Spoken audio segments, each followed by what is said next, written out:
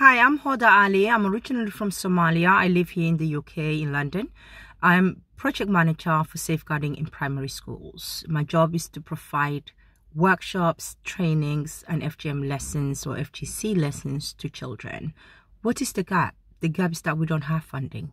We don't have enough funding to, to for me even to do my job, to be able to attend every single primary schools around London or even outside London to provide the same training, teachers training, safeguarding training for parents, including FGC training, and providing FGC lessons to children in primary school, year three to year six.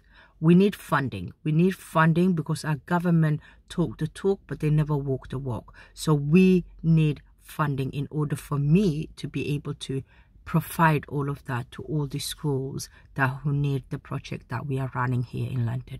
Thank you.